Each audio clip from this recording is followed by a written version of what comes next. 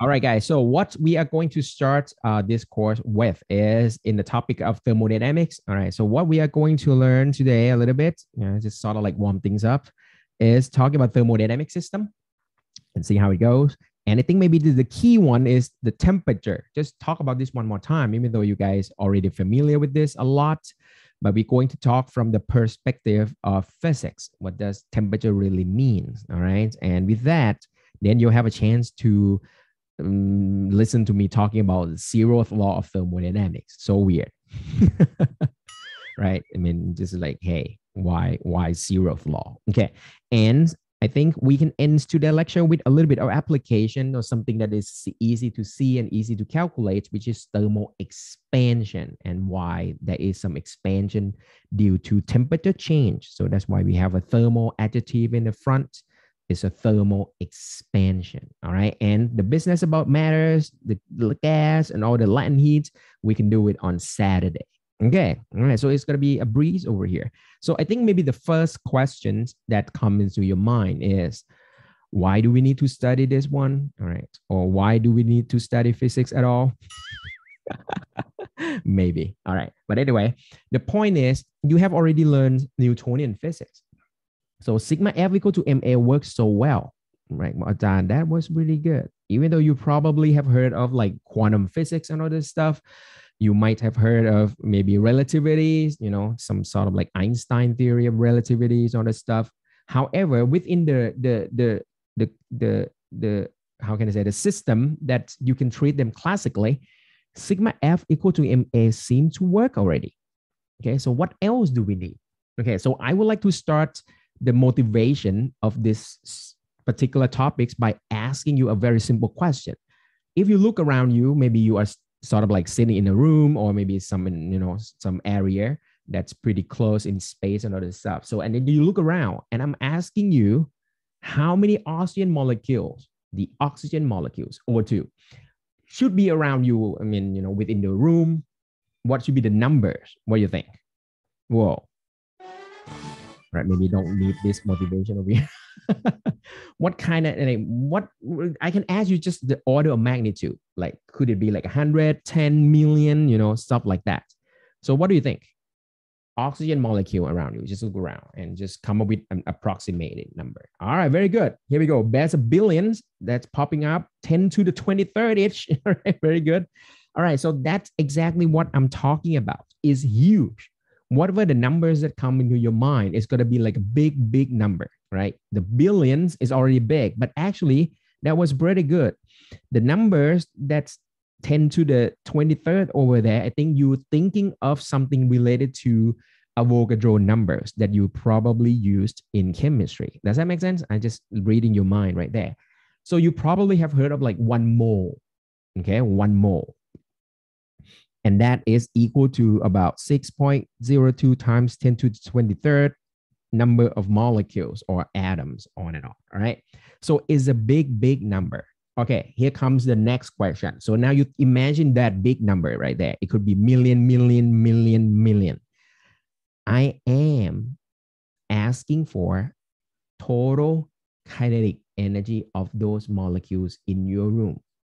I want the total kinetic energy of all those molecules that's running around in your room. Can you find out for me what is this number? But you guys are done. And it can be done because everyone knows as long as those molecules doesn't really travel so fast that you have to worry about like speed of light and all this stuff is one half mv squared. And all you need to do is just sum them up, one half mv squared. So what's the big deal about this? Newton's just you know told you everything already. Yeah, you're right. But then you imagine that you have to sum this number 10 to the 23rd time. Then your jobs become enormous, even though you know how to do it. And then you probably can, can get it done using like supercomputer on the stuff. But to sum all this big number is not an easy task. Second of all, before you can sum this number, you probably come up with this. Well, you have to know first what is the speed of those oxygen molecule, right? So what is this? Now, the problem is harder. It's not just summing the numbers. The problem is you have to do some monitoring or some detection, or you have to, you know, scan the, the, the molecules or whatever in your room. So you might put a camera, super high speed camera, whatever, detecting how fast these molecules is traveling. But then you still have problems because it's a million, million, million molecules, first of all. And the second of all is they can collide with each other. They can knock, even though you can, you know, measure the speed of these molecules at one particular time. But you know, just a split second later, that speed might have already changed by knocking the wall, knocking the neighboring atoms, knocking this and that. Who knows? So I would say this is impossible. Is it? so this is a question that you don't have answer, true or false. Is that true that Ajahn, this kind of question you shouldn't ask because it doesn't I mean it doesn't mean that we don't know how to do it. We know how because we know Newtonian physics, but we just don't have enough resource to do it. But it turns out there is an answer, believe it or not. Whoa, seriously. And it turns out this can be solved by measuring temperature. Is that wow wow wow moment here, guys? I don't know. But first time I'm I'm sort of like learning about this whole facts over here. It's kind of like a little bit amazing in the sense that whoa. When I say whoa, it means the temperature is just a single number, right? Single number. How can single number eventually lead you to something so big, so huge, enormous stuff? The reason is because it's something related to statistic. It's a stat. It's statistics come into play. So of course, all of those oxygen molecules won't be traveling at the same speed. Some traveling slowly, some moving so fast, doesn't matter. But at the end, you will get some distribution of those. Let's call this a speed, and this is probably the number of molecule. You can do this. But then it turns out you already learned from statistics. Every time you have some distribution, you can have some statistical parameters to characterize those distribution, right? And it turns out temperature is just right there. This mean the average value of this stuff, I mean, aware, not exactly temperature, but the average of this distribution is linked directly to the temperature, guys. Okay. Seriously. And that means you can take this room to any corner of the universe as long as this room having exact same temperature. The distribution of all those molecules that is running around will have exactly same distribution.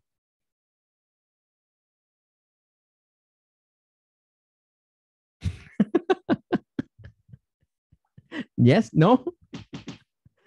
Isn't that like wow? Or is just like, oh, done. So what's the point? so my point is this is amazing in the sense that there is a way that you can create a system that has a really, really big number, but you don't have to really, really use Newtonian physics from the ground up or from scratch. You have another approach that you can do it in a collective way when you say collective mean you can think of it in a macroscopic level. You can look, look at this room just like okay this is a, a room that containing oxygen molecules and we are going to take this whole room and treat them as a system. And that is your thermodynamic system guys. Okay. Does that make sense to you at all? Okay so this is going to complement newtonian physics that you have learned before.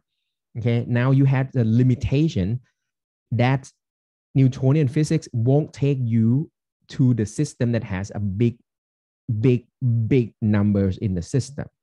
But luckily, you can treat those big number system using statistics.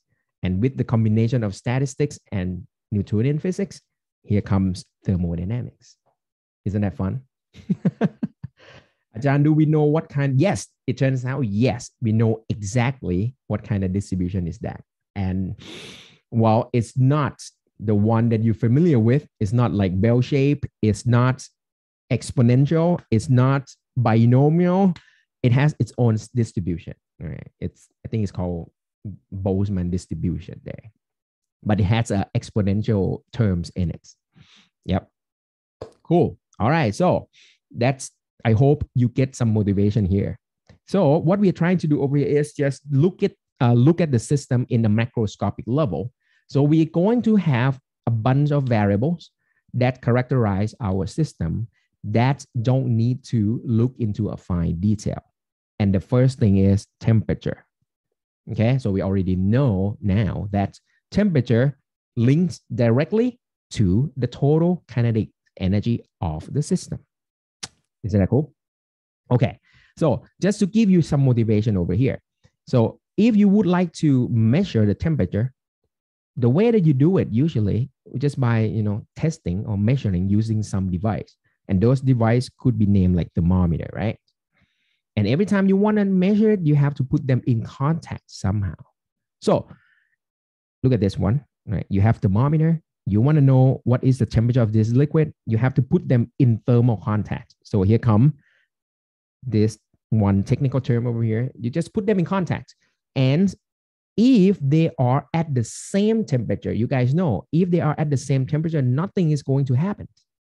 But if, if, if, if your thermometer is a little bit hot and your liquid is kind of cold, then you guys know eventually there will be some exchanging of heat. And we're going to talk more about heat later. Okay. okay. Right, but there will be something going on. There will be some dynamics going on. But then at the end, everything will stop when you reach an equilibrium. So you also going to talk about this one, equilibrium. But this equilibrium is going to be different from the mechanical equilibrium that you learn from Newtonian physics because that mechanical equilibrium, you base everything on forces, right? You do moments you might do torque, you might do things like that.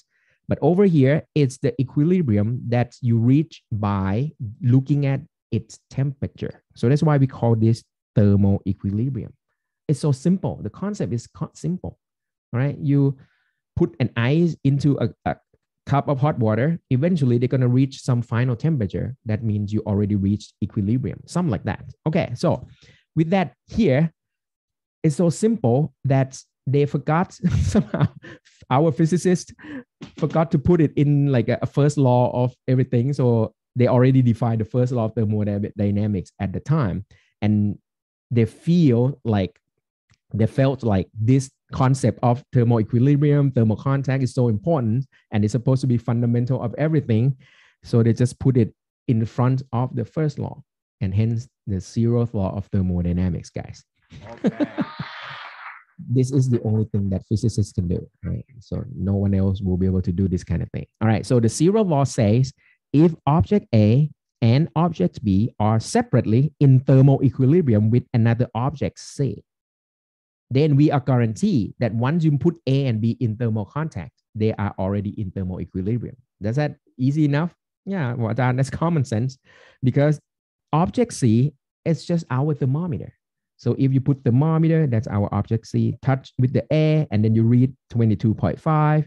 You put our thermometer, touch it with the B, it also read 22.5. You are guaranteed that the A and B must be in at thermal equilibrium when they are put in thermal contact. Sounds cool? All right, sounds cool, and just let it go, right? There's nothing else to it. All right, it's so common sense that everyone agree with this. All right, now, so in terms of reading out, all right, so you must have some scaling. So you want to be able to set the, the scale or you want to know like hey what's the temperature how high is the temperature how low is the temperature so you must have some sort of like a numerical representation of the level of the temperature. So there is some scaling that you can you know use for temperature. And one that you use the most probably in celsius scale. Okay so you go from 0 to 100 that's from the freezing point of water to boiling point of water. Okay that's fine. But then you have another scale that is so important to us, and it's called absolute temperature scales. The reason for this one is called absolute because of this. And I don't want to bore you guys with these experiments anymore. I think for those of you that came from chemistry, I think you have already seen this experiment. But this experiment is just sort of like looking at the behavior of gas when you're changing the temperature. And it turns out if you try to plot between the pressure of that gas in the container and the temperature. no matter what gas you use, gas number one, gas number two, gas number three, doesn't matter. It seems to follow the same trend in the sense that when you lower the temperature, the pressure will drop along with it. And it's mostly in a linear fashion as well when the gas is not super high pressure or anything. So what they say, what they can do is just like, of course, they're not gonna you know lower the temperature down to super low, but at least they have a trend. So when they have a trend, they can extrapolate those trends. And it turns out, no matter what kind of gas you use in this experiment, they're going to meet at one single point. So they got an idea that that must be the absolute temperature that every gas has to meet. And that is the point where the pressure is gone. When the pressure is gone means nothing is moving. right? Okay. And when nothing is moving, we already know that's when there's no temperature. Does that make sense? So what I would like for you to get at this point is this, guy. So this is gonna sound really weird. Let's think backward a little bit. Imagine that you are just a single particle in the universe. Okay, Just single particle, no structure, not even like a diatomic. You don't have even like O2, not even H2. Just if you are a hydrogen, it's going to be just a hydrogen atoms.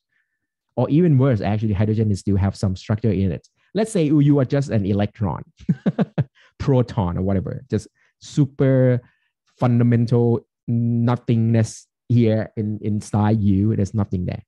Okay. So let's say you are the only particle in the universe. Imagine that. It's black, it's dark, there's nothing, it's vacuum, there's nothing there. No movement, no nothing. Very nice, very peaceful there, eh? okay. Now, Okay. Let's say somehow I can warm it up by giving it some energy. Okay, that doesn't make sense, right? I shouldn't light the fire in the vacuum. That's not possible. Okay, but anyway, somehow I can give this particle some energy, maybe shine the laser light on it or something like that. My question is, what should happen to this particle, guys? Imagine that. Hmm. Just like, okay, then this particle receives some energy. What will it do with that energy? Yeah, very good. It will increase in velocity. So it's just going to move. There's nothing else for it to do. It actually is going to have to travel because it doesn't have to, uh, they don't know what to do with the energy. And the reason that I still don't want to call in the spin, when I'm, I'm talking about the spin, I hope this is just like classical spin, like spinning top. All right. I hope you're not talking about like a spin up, spin down of electrons. All right. So you're not going to have any spin yet because this particle has no structure. So you don't have any sizing. You don't have no width, there's no height. That's nothing. So there's nothing to spin even. So the only thing that this particle can do is just travel. And that's, guys, this is it. At first, when you have no velocity, that's when you are at zero Kelvin. And the Kelvin, the K, is the unit for absolute temperature scale. Cool? Once you give it some energy, it's travel. So it means it has some kinetic energy in there. That's one half mv squared, right? And that's when your temperature is going to be greater than zero Kelvin. All right. So I hope you see the connections I'm trying to get to here. All right. I want to emphasize again and again that temperature is just the total kinetic energy of the system. Mm-hmm, mm-hmm. And when you reach this temperature right here, when you're extrapolating curve over here, hitting the single point over there, that's when you assume that is your absolute zero temperature. Okay. All right. So that's where it is. So the absolute zero temperature is just a temperature that nothing is moving. Makes sense because there's no energy there. Okay. There's a question comes in if electron is excited to higher energy states, the energy exists in the form of its velocity, right? I would say yes. Yes. However, if you talk in this language over here, I would call this language to be quantum physics ish, sort of. So when you have an excited state, so it means your system is not like an isolated single particle system anymore. Does that make sense? The reason that you can excite it, it means that electron must be within some influence of potential energy. So you are not alone. so for those of you that don't I mean don't don't into this one, that's fine. I'm just trying to answer this question is when the electron has an excited state, that means that electron is not alone in the universe. It must be under the influence of other things. Okay, that's my take on this one. Okay. And yes, it has some velocity. I mean, it has some kinetic energy in there. Yeah. Okay, very cool. All right. So just to confirm again, the absolute zero, that's when nothing is moving. However, however, just a quick pause over here before you, you know, digress too far here. Unfortunately, the zero point, uh, the zero temperature or the zero Kelvin that we're talking about here is unreachable. and this is a third law of thermodynamics, guys. Right? You can, I don't know, you can call this a third law of thermodynamics, or you can say, I mean, we can talk about this from the perspective of quantum physics. Nothing in this universe is actually standing still. That's pretty much what it is. Right? So nothing is actually at zero speed. So that means something must be wiggling, something must be moving. So that means zero Kelvin is impossible in our universe. Too bad. All right. Okay, guys. So that's what it is. The Kelvin, where did I say it? Okay, not here. Okay. So the Kelvin, the K, the K, where's the K? How come it's not here? It must be somewhere. All right. But anyway, if not here, I can just write it down. This is Kelvin scale. There you go. All right. And the good thing about this Kelvin and the Celsius relationship is simple. They are just linear, linear in the sense that it's just addition of numbers. So if you have uh, temperature in Celsius, you just add 273, right? If you want to be more accurate, 0.15, then you just convert from Celsius to Kelvin scale. You're done. So the good thing about this one is the change of the temperature in Celsius scale is going to be exactly the same as the change of the temperature in the Kelvin scale. Or you can say that the resolution between these two scales are exactly the same. One degree change in Celsius is exactly the same as one degree change in Kelvin. Cool? All right. So that's nice. But anyway, when you talk about the value of the temperature and in most equation that we are going to face, you are going to use the Kelvin scale most of the time. All right. Very nice. Okay. And of course, you might still have other units or other scales still using being used today. But I think the only country left using it is more of probably the United States, I guess. All right. So that's Fahrenheit. So don't worry too much about it if you're not using it everywhere else. But good things to know is at 40 below, that's when the Celsius and Fahrenheit scale is reading the same numbers. So that means negative 40 Celsius is the same as negative 40 Fahrenheit. FYI. All right. It's pretty cold already. I mean, the coldest that I've ever been, probably negative 30 or negative, I don't remember exactly, but it's negative 30 or 35 or something Fahrenheit. Yeah. So that's the coldest that I have ever experienced. All right, guys. So, what's the, the consequence of knowing this whole thing? First thing first now we know what temperature is trying to tell you right? It's trying to tell you about the total kinetic energy of the system. It's it's the same thing. They are exactly the same thing.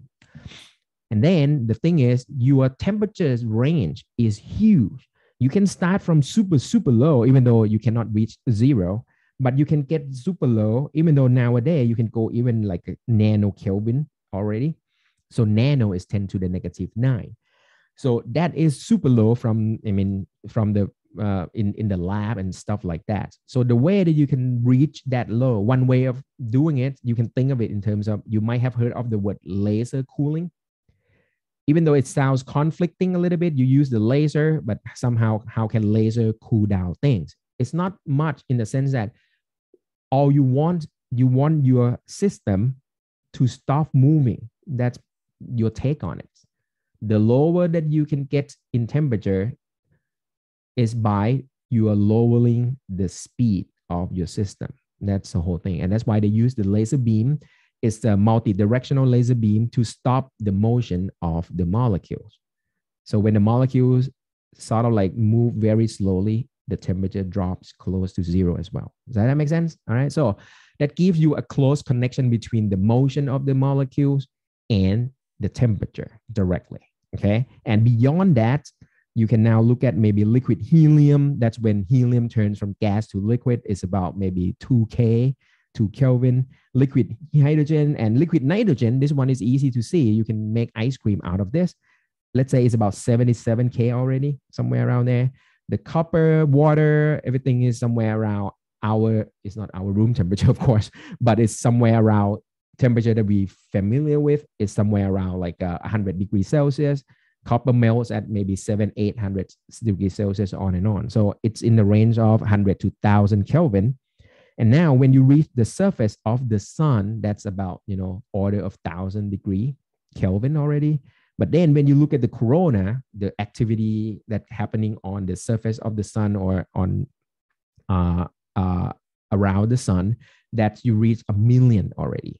And if you get interior of the sun, when you get inside, you get to you know talk about the nuclear reactions all of those you know activity that's going on inside the sun that allow you to reach like 10 million kelvin there.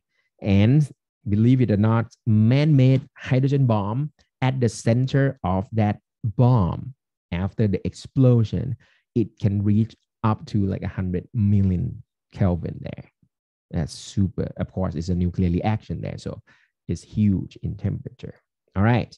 So those are the scales. You can see that it's, it's pretty big. But the main goal of this whole thing is just you can now connect between the temperature and the movement of the molecules. And now think about the movement.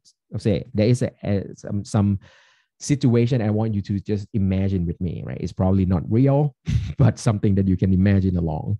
So let's say you guys come into a room packed with your friends, okay, like shoulder to shoulder packed, super, super, you know, packed in a room. And then suddenly I just turn off the air conditioner. all right. So now our classroom is getting warmer and warmer. Now you're gonna get like, you know, all right, annoying now. It's just like, okay, it's getting hot, it's getting warm here. I don't like it. You know, can you move away from me a little bit? And can you give us some space? You, you see what I'm saying? And then you sort of like, wow, you know, feel uncomfortable, and then you just have to move a little bit. That is a situation that happens in the molecules.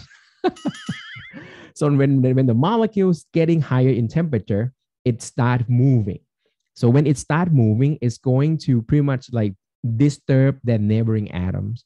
So the distance between neighboring atoms gonna get a little bit mm, bigger because of the pushing, you know, like, okay, stay away from me and stuff.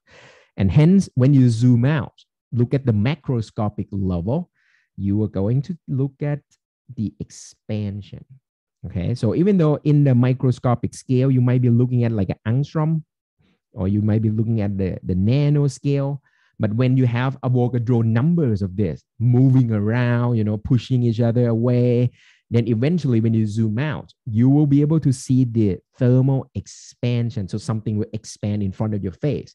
You can observe this one in like a millimeter scale or centimeter scale. You see the translation from microscopic to macroscopic level. See? Okay, so this is stuff that we can do something about it and do some calculation on top of this. So what we are going to introduce today is how can we quantify the thermal expansion that is happening? Due when you say thermal it means it's due to the temperature change. Okay so let's take a look at this. It's going to be simple guys. You have a piece of maybe a metal you know, some substance whatever. Your initial length is l naught and then you warm this piece up by maybe burning it give it some heat and all this stuff We'll talk more about what is heat next time. But at least now you know temperature is getting higher. So this bar or this piece of object is going to expand. So when it expands, there will be a new length or there is a change of the length. So if you want to sort of like, hey, Ajahn, I would like to calculate this delta L, the change in the length, what could it be? So now you just come up an idea like, okay, Ajahn, what will be the factor that determine the delta L? First thing first, what is the size of the temperature change for sure, right? Okay. Because of course, I mean, the higher the temperature change, I mean, the longer it's going to get because of the some expansion is happening. So that's cool. Another thing is what is going to be your initial length? If you come up with like a, a, a meter long bar, then the expansion will be, let's say, some number. But if you compare this one meter bar with like a kilometer bar, you know, I mean, the expansion is going to be growing along with that length. So it's supposed to be proportional to the initial length that you bring in the bar or bring in the, the object right there. What else? Well, Ajahn, could it be? It depends on what type of material you're talking about. Some material expand quickly. Some some material doesn't want to expand at all. So there must be some sort of like a numbers that sort of like give you the ability of that material to expand. So we are going to name this coefficients of linear expansion. Let me name this alpha. That's it. And one thing that you can see is everything just comes from my my my you can call this like my proposal here. this is not like a law of physics or law of the universe or anything. It's just it's just like experimental or it could be like you can call it like it's just from observation or something. So I can just wrap this whole thing and put them into an equation and be done with. So I can say the change of the length is just alpha, the coefficient of linear expansion, times the initial length times delta L, and I'm done. And now there, uh, there must be a couple of questions popping in your head. I'm, I'm sure. Okay. but wait a second. What about the height? What about the depth over here? You don't care? Of course, I care. Eventually, they are going to expand. Okay, that's one thing. And the second thing, about Ajahn, how do you know they are linear? Don't like, isn't it possible that it's gonna follow like square law, or maybe could it be like two third and stuff? right. So there are so many questions popping up, and that is a very good questions. Every questions are good questions. Okay, and there's a question comes in why ice shrink. That's also very good. So when melted, yeah, and that is perfect. I just gonna jump right ahead. Spoiler alert over here. I already have that prepared for you. The reason that ice sort of shrink or water going funny business because of my points over here. This equation is not equation that's govern this universe at all. Does that make sense? This is like, well, it's it's experimental or it's just a model that try to explain something that expand with temperature change linearly. It's not as big as sigma f equal to ma. It's not as big as what what else do we have? I don't know, right? You know, Einstein relativity equation or no. This is just mm, just for the purpose of explaining things using mathematics or you know some expression. That's all. All right. So I hope you you understand my point over here. So don't take this equation too seriously. And I'm going to answer how can we deal with the other dimensions? But at least if you are talking about a single dimension, like here, the length, yeah, all right, I care only this length. I want to know what is the change in this length. I just can, I can just use this linear equation and be done with. Cool. All right. And to answer your question about water, water is so crazy. I mean, you know, it's a hydrogen bond, H2O, it's liquid, you know, there is some, you know, interaction between them, blah, blah, blah. And it turns out everyone knows that the density of water is highest somewhere around four degrees Celsius. So let's say, I mean, if you come up with the, if you're standing right there at four degree, as you can see, no matter which direction you go in temperature, you can increase the temperature or you can decrease the temperature. Your density will be dropped. It will be dropped no matter which direction of the temperature change. So you're going to expand on both sides anyway. Okay, you see my point here? My point over here is don't take this equation too seriously, guys. This is just, you can think of it like an engineering purposes, or you can just think of it just a modeling for taking to account, uh, try to quantify the, the, the thermal expansion. That's all. Cool. All right, guys. So with that in mind, the good thing of this one is we have them in a linear form. We love linearity. Okay. we love it we mean for those that doing like computer science and computer engineering people, right? When you do linear stuff, I mean, computer is good at adding, subtracting numbers. That's fine. But once you do powers, once you do multiplication, you take a lot more CPU time to do those. So that's why we love linearity. So with the coefficients value, you can look it up in this table. This table lists a little bit of the alpha value for those. Yeah, you have mostly uh, maybe metal, and then you have some here, concrete over here. And from this table, you can see that if you compare steel and concrete, they're having almost the same linear expansion coefficient. See that? And we love this one because, of course, when you have a, a reinforced uh, the concrete with the steel reinforced, when you're building a skyscraper, all right. So you want those steel and concrete on those buildings to expand and contract at the same rates. So that's why the engineers have to come up with, you know, the material that's sharing the same value of the alpha, right? Otherwise, then you're going to have some problems. The steel might popping up or concrete will crack or whatever crazy stuff. Okay. And this is like a, a, a consequence of the, the thermal expansion over there. You get cracks, you get, you know, bumps and everything. And this one is the worst. And I'm not so sure why I'm still puzzling about this figure over here, but this is a classic uh, photo explaining um, um, the I think it's the mistake engineering mistakes that they forgot to leave some space between metal bars, generating the uh, building the railway over here. But the only thing that I'm puz- puz- puzzled about this this photo over here is I don't know why they can complete the project without having this effect during the construction. I don't know why. It seems like they're already in operation here, right? There's a you know some trains running on it, and now it's get wrecked and everything. So I don't know. All right, but this one is obvious. They now, I mean, they have to put it in in a block, and then they have to leave some space to take care of the expansion during the the hot day. Yeah, on and on.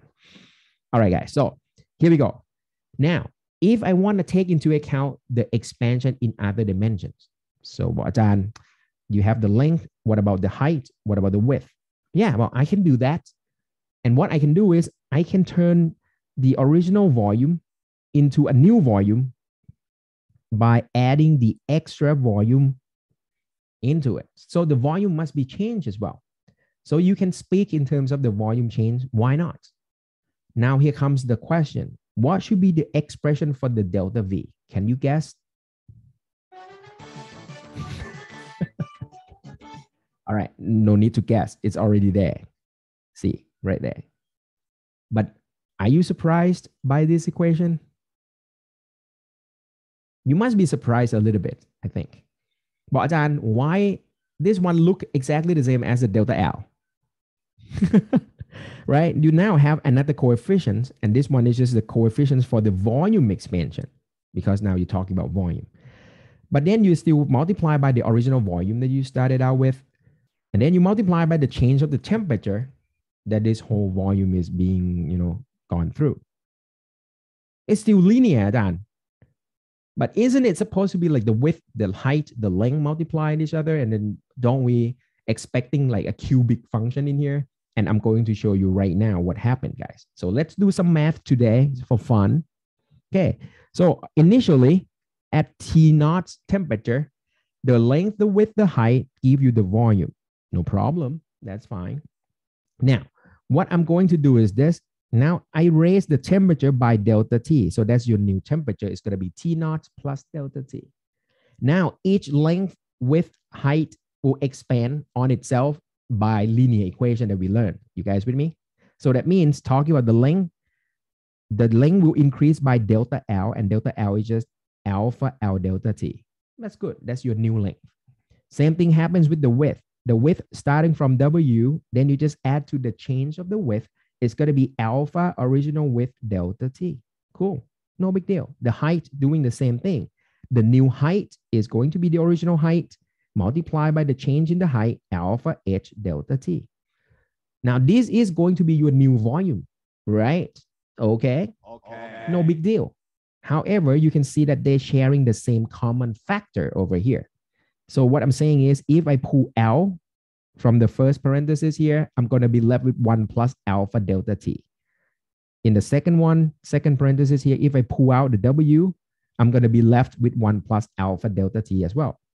third one, if I pull h out, I am left with just 1 plus alpha delta t. So this means I have triple 1 plus alpha delta t. So that's why I ended up with 1 plus alpha delta t cubed. Where does this cubic function go? No. Where does this one go? And here we go. The first approximation for the course right here. So we're going to do some approximation right now. So I don't know, have you seen this before? The approximation say when you have 1 plus x to the n, it's approximately equal to 1 plus nx. I don't have you seen this before. If not, that's fine, but you must be familiar with this. The complete square หน้ากำลังสองบวกสองหน้าหลังบวกหลังกำลังสอง yeah Okay. if you do the cubic of this so you're going to have 1 cube plus what 3x plus 3x squared plus x cubed if you do the fourth power you're going to have 1 plus 4x plus 6x squared plus 4x cubed plus x to the fourth on and on and on right okay you guys still familiar with this then you notice something here number two, number three, number four, those numbers will show up in the first term after number one. When I say first term after number one, mean they are all in linear terms. These are all linear on x.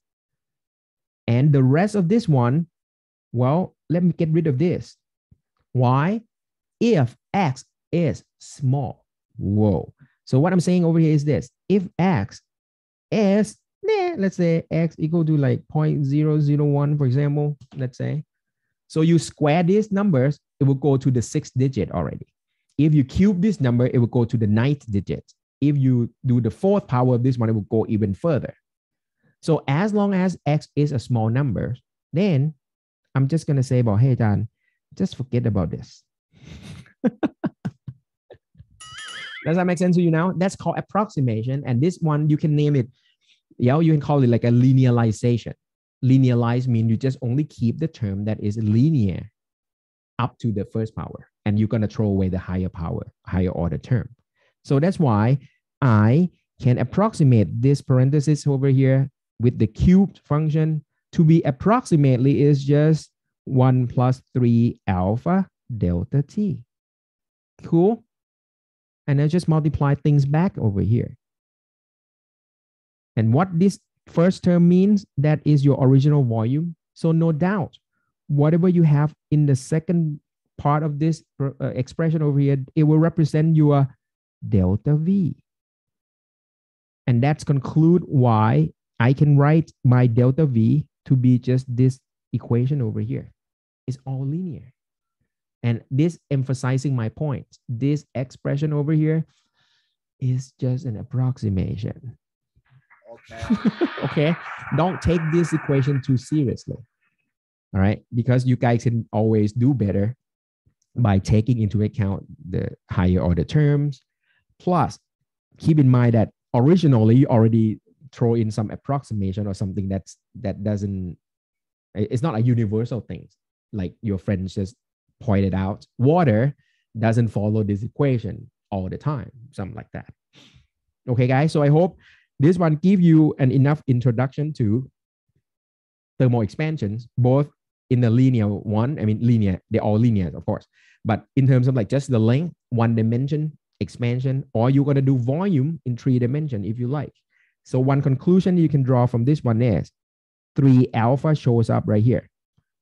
And that give you the beta over here. So I can draw the conclusion that as long as the substance expands equally in all dimensions, all directions, then the beta, the coefficients of volume expansion is going to be three times the alpha. That's all. Cool? Okay. All right, that's a question comes in, John, for this to be an accurate estimation, does delta T have to be really small?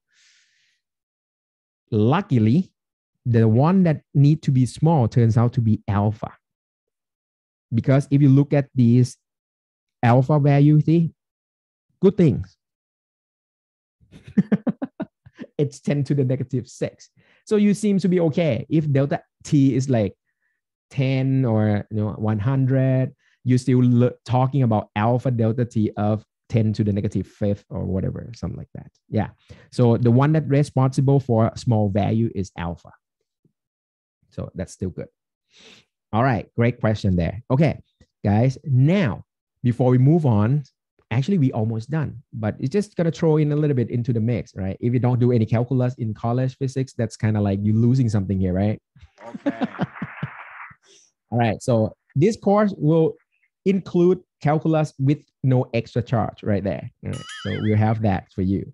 So what we can do very simply, if, okay, let me look at the three-dimensional case over here. If I start with a cube of length L, so you have a volume of L cube over there, what I can do is I can look at the differential change of the volume with respect to the length because I assume that the length is going to expand or contract. So I can write this one in terms of like a, you think of it as chain rule. So the change in the volume can be written in terms of the change in the volume with respect to the length and then multiply by the change in the length. So far, so good. All right. Now, the good thing about this one is every time you talk about the delta, delta is the change. So it's big. But then when you do things very small, you turn it into D, a differential. So this means when things very, very small, super, super duper small. So you turn everything into D. And this one is, I can say, is guaranteed to be linear.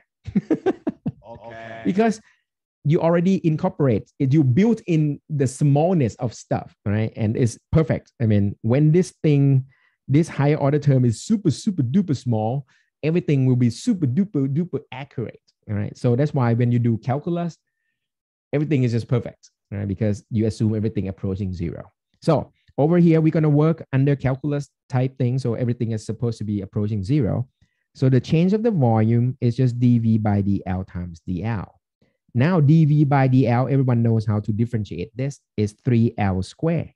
Cool.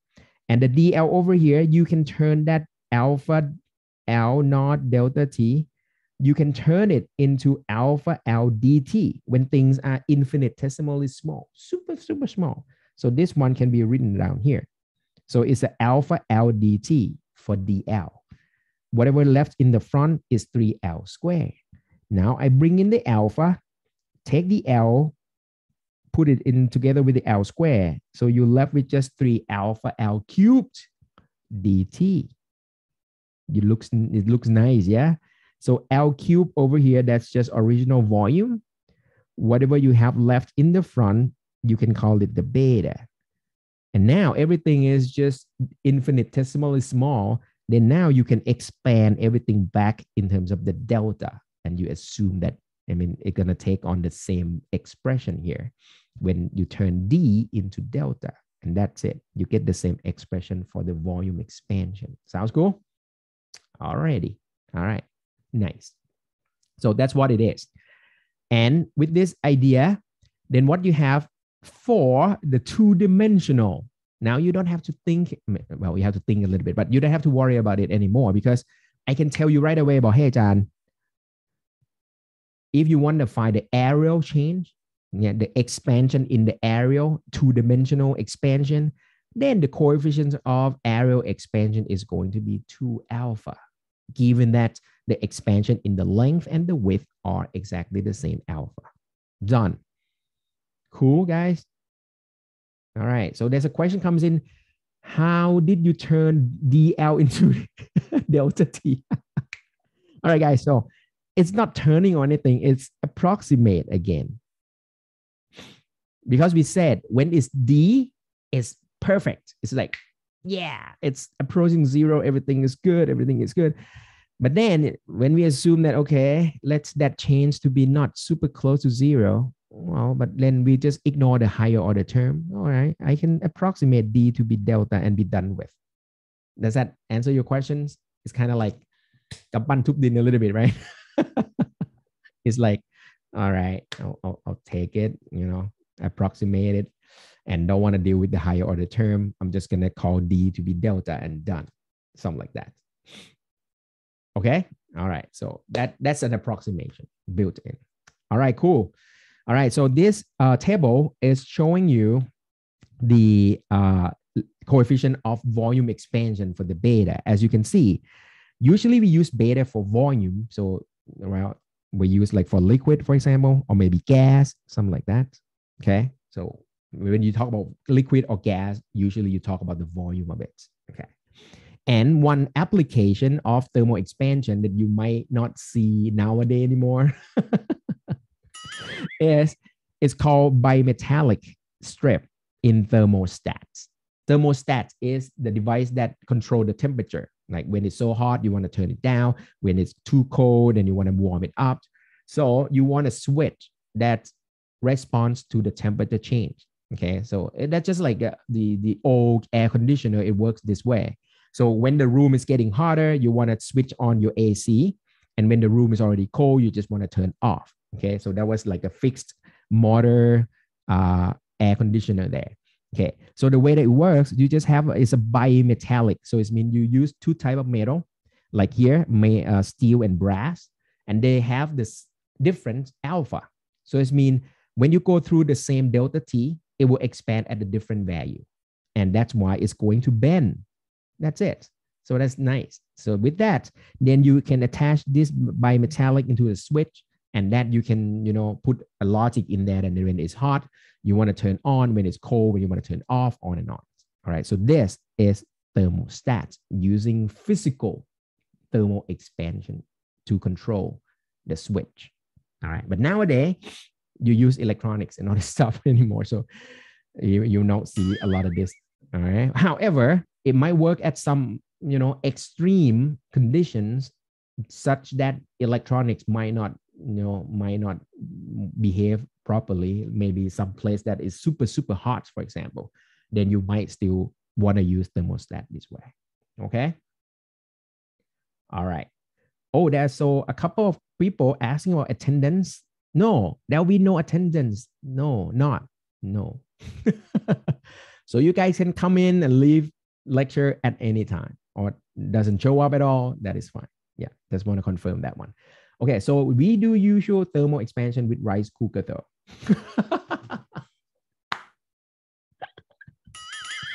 yeah, yeah, you're right.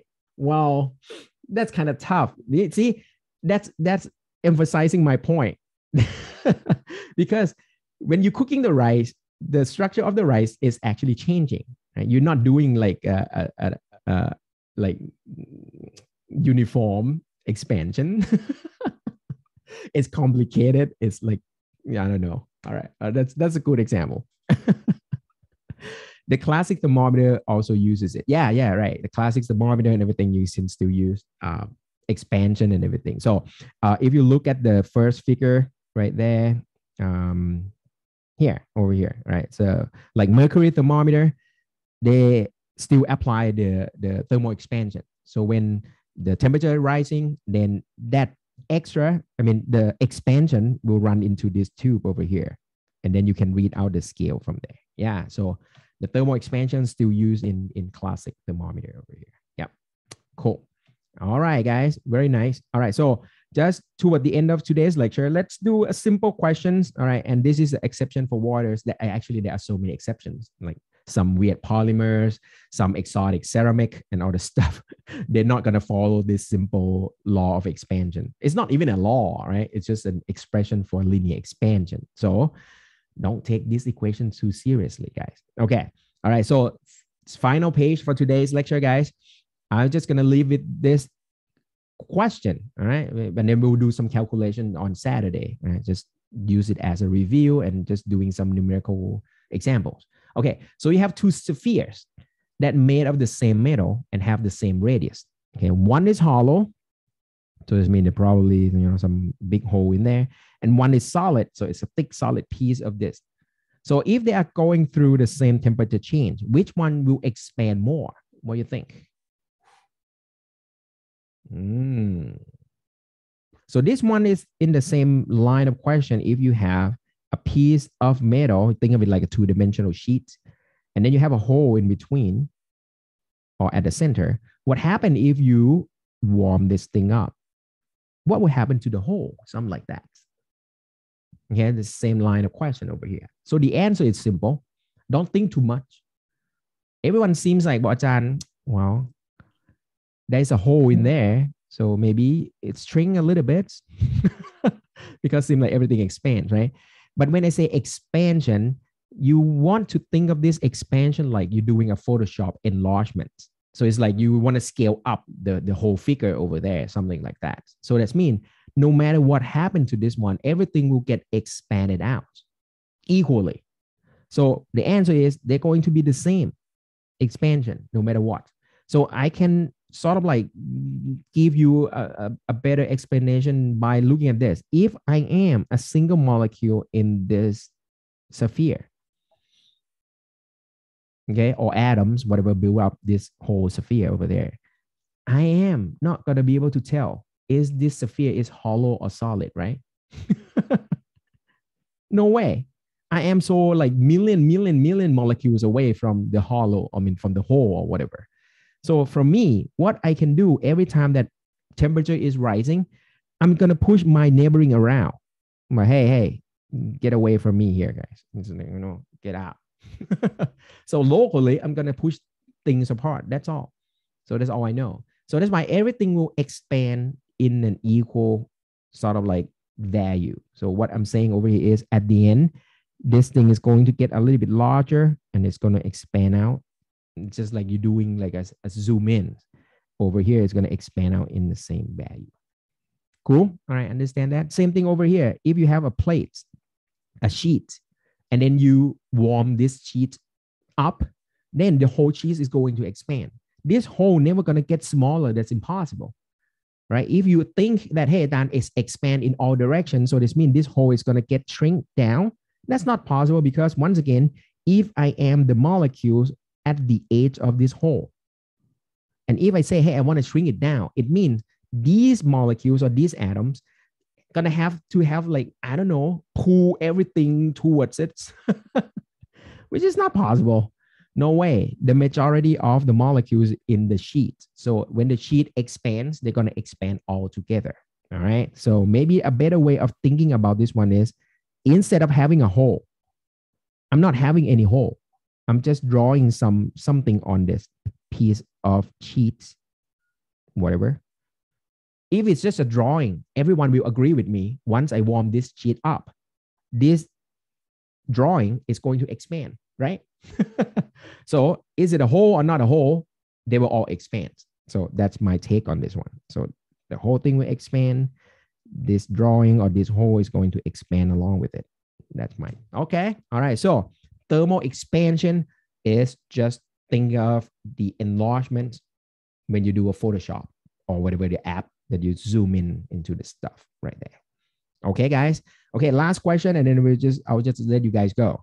The aluminum tube is 33 mm, uh, meter long at 20 degrees Celsius. What is the length at 40 and what is the length at zero? So this whole point is a plug and play example. This not going to show up in the exam for sure too easy. But the point of this one is just want to showcase that the delta T that you're using can be positive because in case A, you're going from 20 to 40, so the temperature is increasing. Or in part B, the delta T could be negative. That is fine. So it could be a, an, an increase in length or it can be a decrease in length. All right. But the rest, you just plug in the value and then you will be done. The change of the length in part A is just the original length times the alpha of the aluminum, L naught, and the delta T.